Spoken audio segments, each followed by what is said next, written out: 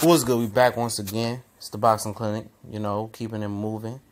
And um, you know, nighttime grind. And we still talking boxing after a slow day yesterday. Um, but you know, it comes down to um, you know, more news coming in. You know, we're gonna try to keep it flowing.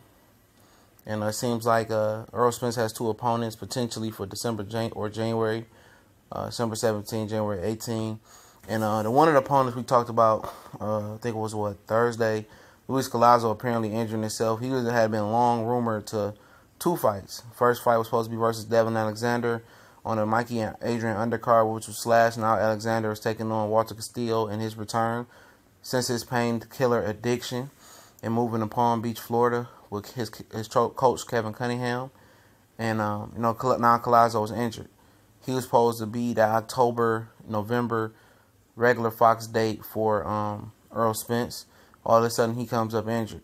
Now, um, now if it's January, see, he had an arm injury.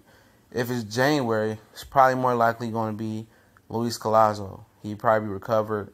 He's ranked like fourth in the uh, in the IBF, um, so that's why he's really being considered because Carlos Ocampo and uh, Konstantin Pulimov is fighting for the uh, mandatory bout with Errol Spence. Now, now, Lamont Peterson enters the situation, and this is a great fight. I'm gonna tell you why. This is either, this is either a better fight for Earl Spence than any than the Danny Garcia fight, than the Sean Porter fight. Then this is a better fight. Even though if he beat, even I mean I don't know, as far as if he beat Sean or Dan or Sean Porter to be exact, will he be the mandatory to Keith Thurman's belt that way? I don't think so because Errol Spence didn't enter the voluntary VADA drug testing. And I think he won't enter unless he has to keep Thurman date on lock, fight on lock. Then when he has to fight for the WBC title, he'll enter VADA. Um, but if he fights Lamont Peterson, Lamont Peterson is the mandatory to Keith Thurman as well. He holds the regular WBA title. Keith holds the Super WBA title. And uh, Errol Spence can finesse his way to being Keith Thurman's mandatory and put himself in a better position by beating Lamont Peterson. Lamont Peterson can sweeten, sweeten the deal become, by becoming another a two-time IBF champion, one time at 140 and one time at 147, and um, you know have some leverage and be able to fight on. He said he only want to fight three more times, and um, actually he said four, but David Alvarez was the fourth time. Um, you know this is the guy that talked about us fighting as high as uh, middleweight just to get a fight. So um, hopefully he takes the fight. It'll be a great fight. Um, even though I think he'll get walked through by Earl Spence, he's just too small, too weak. He don't have the punching power to fuck with Earl Spence, but he does have some boxing ability.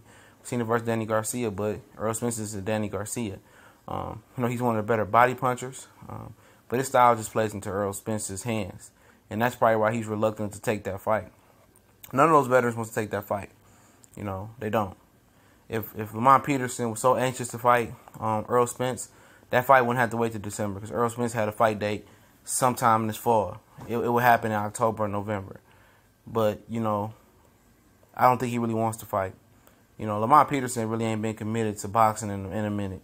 You know, he really ain't had a big fight in a minute. Since the Danny Garcia fight, really been downhill for him and his career. And his inactivity is going to be his downfall versus anybody, you know.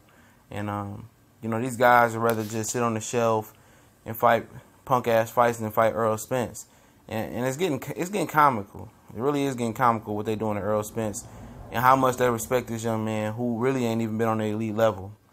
Um, and you know it is what it is. He got that Paul Williams aura on him. You know, boogeyman of the welterweight division.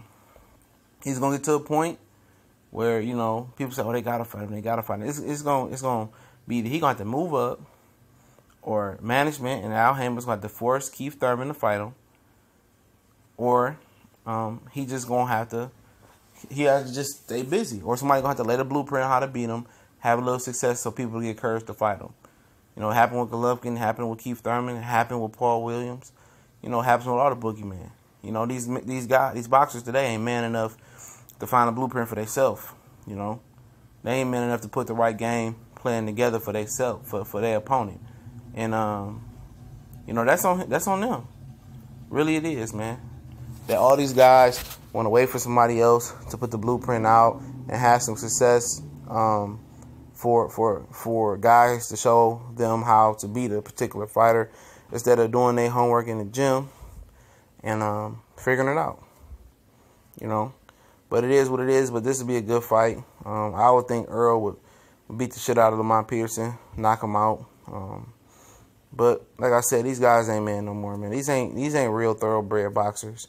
These ain't throwback boxers. These throwback hideouts. You know, Lamont ain't trying to be fighting nobody. You know, if Danny Garcia said he wanted to rematch, he'd fight him. But um, you know, it is what it is. It's your boy CJ Goodfella. We gone.